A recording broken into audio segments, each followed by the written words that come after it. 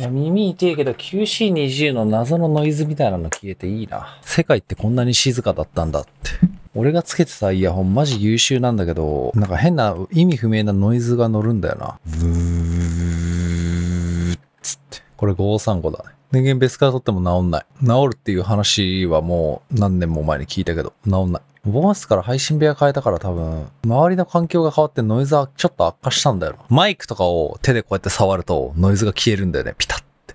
面白いよな。俺がアースになってる。前は、俺、机の下半分がなんか鉄になってて、そこを触ってると、ノイズが消えてたから、机の足に足をくっつけて、あの、ノイズ消してたんだけど、なんか最近それじゃならなくなったから、イヤホン変えた。僕もあの釈迦さんと同じマイク欲しくてブルーのああ、はいはいはい。マウスっていうマイクね。まあそう半年ぐらい入荷待ちしてるえ、そんなに？これ。うーん2個買った注文したんですけど 半年ぐらい入荷待ちの人ですこれ1個20万ぐらいするけど。なんか曜日とまあまあクザさんに1個あげようかなああ、なるほどね。デバイスオタクだ。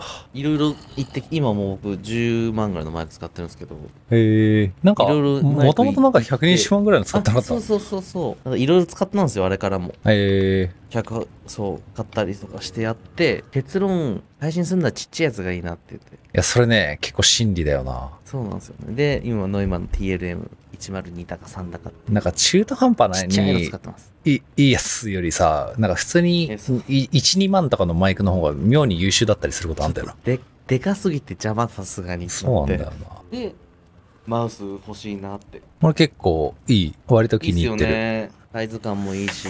でかいマイクってどんくらいでかいんだ？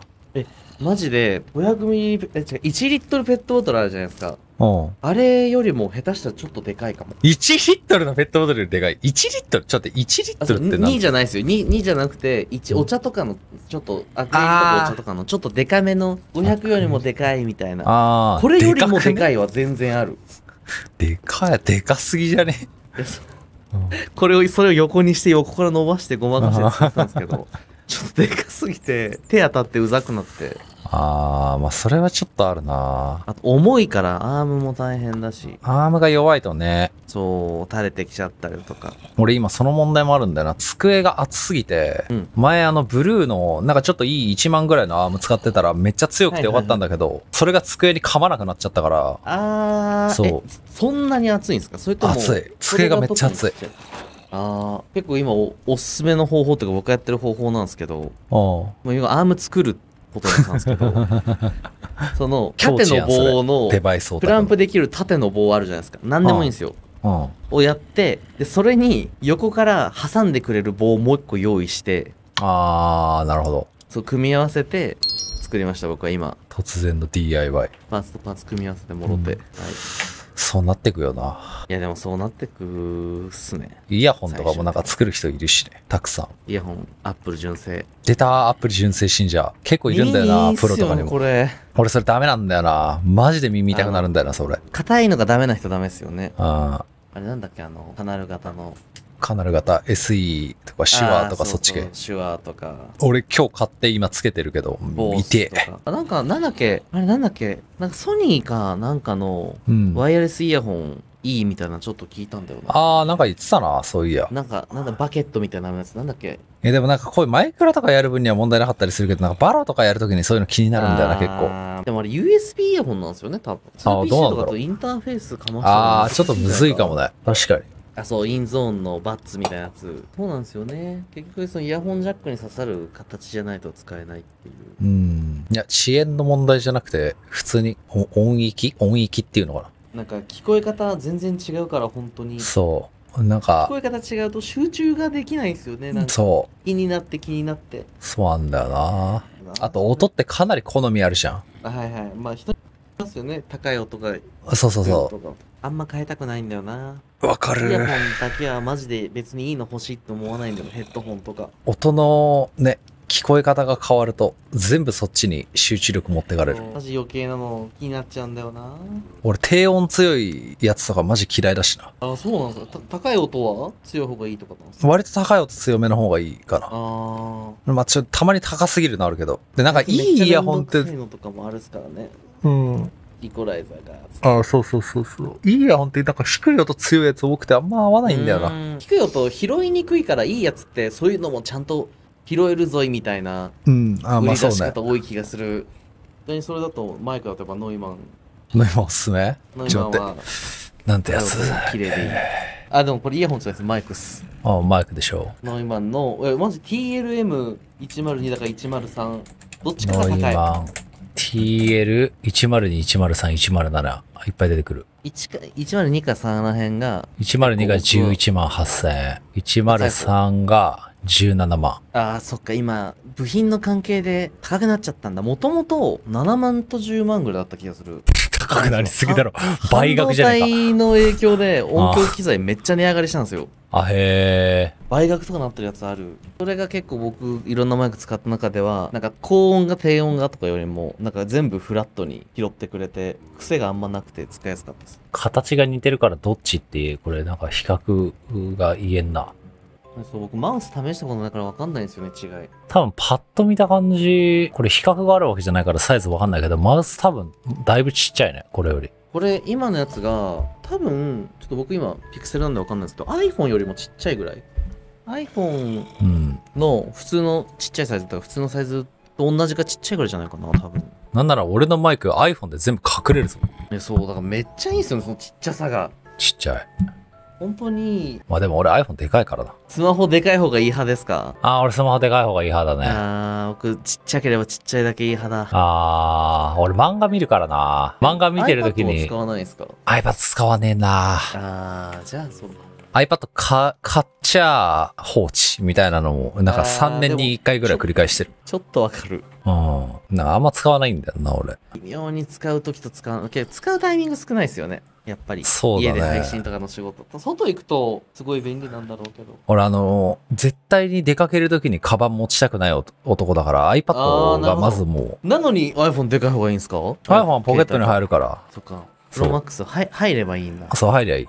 もう、財布と鍵とタバコと携帯で行きたい。うーん。え、ちっちゃい手下げみたいなの嫌なんですか？なんかいやなんだよな。あれでしょ、あの、金、金魚入ってるやつの、なんかちょっとおしゃれ、おしゃれな金魚袋みたいなやつでしょ？そうそうそう。いやー、ちょっとな僕財布めっちゃなくして、いつもー。う。わー、わかる。うん。ポケットに財布やめて、そのちっちゃい金魚にしました。なくすの嫌だああ、から。へえ。あ、でも俺最近財布なくしてないな。財布めっちゃなくした。3回か4回なくしたんですよね。もうか、なここ、ここ5年ぐらいで。なくしすぎ。本当に。俺でも人生、ででも俺人生単位で8回ぐらいだな。え、でも結構なくしてません、8回って。結構なくしてる。で、俺財布は。タクシーに忘れたことは何回もあるんだけど、タクシーに忘れた時は見つかってるけど、落とした時は俺一回も見つかってない財布。あー、その、誰も届けてくれてないやつだ。そう。で、携帯は同じ回数ぐらいなくしてるけど、携帯は100%見つかってる。へ帰ってくる。100%帰ってきてる。探す、探すとかじゃなくても普通に帰ってくるんだ。あ、そう、探したら見つかるし、交番とかやったら届けられたりとかある。キャッシュレス派ですか？そうだね。俺カードしか使わないであ。ー今なんか、スマートリングとかあるらしいですよ。なんだっけそれ？なんか聞いたことあるな。指輪、指輪でも決済とかもできちゃう。指輪で決済。いや、なんかその手のやつな。いや、そうなんだよ。いや、俺なんか見た目が嫌いなんだよな、あれ。あーそれでも見てない？なんだっけ、スマートリング？俺、あれは嫌なんだよな、あの、時計のやどんどん出つ。てますよ、私は。あー、あのー、ウォッチで払うやつ。いあ、そうそうそや、釈迦さんの時計出たらだってもう、う。いや、使ってないけど、あれは。逆に使いにくあ、でもなんかスマートリングちょっとおしゃれだな。いや、ただスマートリング、なんうんか、決済する系のと、体温とか、その、ヘルスケア系うん。ちょっとあるみたいで、っていうのも、なんか、対応させられてる、決済対応させられてるのが結構少ないっぽいっす。あー、まだ普及してないんだ。そう、多分これからなのかなと思いつつ、もう、もう出てんのかな？なんか、ちょっと前に、半月前ぐらいに、まあちょっと話題になったのがあって。リングすげえおしゃれじゃん。へみたいな。あ、で、あと、充電型と、マジ充電しないでいい型があるんですよ。ー。確か充電しないでいいやつが決算だった、決済系だったかなへー。これいいな。と、充電しないでもうずっとかざすだけできるみたいなのありましたね。ありだな。これ普及したらありな気する。そう、これ僕、時代を待ってます。ちなみにスマートグラスは、もう少しかかりそうでした。スマートグラス？それはなんだ？要は、あれですよ、要はメガネに、のレンズに、まあ、パソコンの画面をじゃないけど、あえー。これはもう、買ってちょっと試してみたんですけど、ああ、もう少し待ってる時代を。なるほどね。ま、まだちょっと、まだちょっと実用的ではない。序盤の感じがね。そう。これからに期待でしたね。そういうの好きなんですよ、新しいの。へえ、俺新しいもの本当に買わんからな。そうか。まあ、それで言ったら俺最近もう、俺車乗ってるから ETC に今更感動してるよ、俺は。いもう車乗ってないから分かんないですけど ETC って何ですか？高速のなんかっすよねあ、そうそう、高速の料金を昔は、うそのなんかあの、電話ボックスみたいなところが入ってるおっちゃんにお金払ったりしてた。あはいはいはい、うんはい、そのイメージある6何十円みたいな。そうそうそう。でしょ？はいはいはいだけどそうじゃなくて、もうちょっとスピード緩めて車でもう徐行20 10キロとかでうーって走ってたら、もう前のゲートが勝手にピッつってガイーン要は電子決済みたいなこと？をいや、そうそうそうそう。あええあなんかたまに ETC 占領レーンみたいなのあるなそうそうそうそうそうそう。タクシーとか絶対そこ入るでしょ。そう確かにそこ入るイメージあるっすあるっすそれだけでいけんのよ。で、あれ車にカード挿してるだけなの。自分が作ってるクレジットカード会社に、なんかその ETC カードくださいっつったらあ送られてきて、ええそれを車に刺すとそどこで撮ってるんだろうそれう。わかんねえんだ。あれすごいわ。ETC ええ ETC もうだいぶ普及してるっぽいですよコメント欄見るいやいや、もうかなり普及してる。もう当たり前、当たり標準装備だよ、今。あ今標準装備。でも俺10年ぶりぐらいに運転してるから、最近ずっと。それまともに運転すんの。20, 20年前から出てるって20年前？言われてますけど ?20 年前は、それもう初期あれよ。なんか持ってるっていうか、まあそれあったんだろうけど、あままだ普及はしてない。なんかあの、iPhone、iPhone はや激流行りしたのって多分5ちょい前ぐらいじゃん。確かに確かにそのぐらい。けどなんか、いや、なんかまあ iPhone はそのさらになんか5年前からあったよ、みたいなこと言われても、いや、でもみんなガラケーやったやん、みたいなそういう時期。はいはいはい。一般的じゃなかった時期だまだ車か。車いいよ、めっちゃ運転楽しい。運転いやそう楽しそうなんですけどやっぱ怖い。なんか事故っちゃいそうで怖いのがやっぱ買っちゃうんですよね。まあでもしない方がいい。いやいいけど楽しい。いやでも絶対あると便利ですよねうん、便利は便利。なんかでも俺結構感動する。そのタクシーとかに乗るとさ、その千葉、やれ千葉行けだの、神奈川行けって言われたら、タクシーのね、料金1万とかあー1万5千円とか。すごい行きますもんねそう。だけど自分でウィーンって言ったらもう高速の 1000, 1000円とか、えー、そんな違うんだ。1000円ちょいとか。それこそカーとかなんかマネージャーの人とかね、運転できる人とか。いやそう運にあれして、欲しい。で、自分で車だけこれ乗りたいっつって買って、運転してもらって。そうそうそうそうそうそう。いやでもなんか僕さすがにここまで人にお願いするのちょっとあれだなって。いや、まあ確かにね、それは俺もわかる。いやそうなんか10分とかの距離じゃちょっと10分 いやそうなんだよ 結局車出してもらっていいっていうのを言い続けるのちょっときついなって考えたことあったんですけど俺も同じ理由でやめたわ。そうなんですよその結局くる、あ、ちょっと車あったら便利だなって瞬間ってさ、意外としょうもない用事だったりするじゃん。はいだからで、まあそのうん、そう。ちょっと物取りに行くとかちょっとあ1時間ぐらい話し変えるとかねそう。その都度、確かにお願いすんのなって感じなんだよ。うん言いづらいよね。いやそうちょっと申し訳なくなるんだよなさ、さ、さ、いいっすかっつって、それ何回もやんのよかなって。なんか遠征でねほんとた隣の県まで行くとかあったらねいや、そうそうそうそうそなんかあれだけどでも考えてますちょっと割と合宿で撮るのう。ああ、合宿はありだな。一応あれあるよ。あの、警察署行ったら、一発で免許くれる制度確かあるよ。え？が、ガチのノーミスで行ったら。うーん本当にちゃんと勉強していくとなんかあるんだあめちゃくちゃ難しいけど。マジで厳しい。確か。ああ基本無理とされてるそう。行けたら一発で取れる。いけたらいけたらかっこいいな 合宿、合宿か。え、でも、カンハン、今合宿行ってさ、パッと。はいはいはい17、8の子がさ、ウェーイっつって周りいっぱいいたらさ、え合宿ってそんな若い子だらけなんですか？いや全然大丈夫ですけどねけど。ああ、そうか。ああ大丈夫ですなんでなんかチャガさん？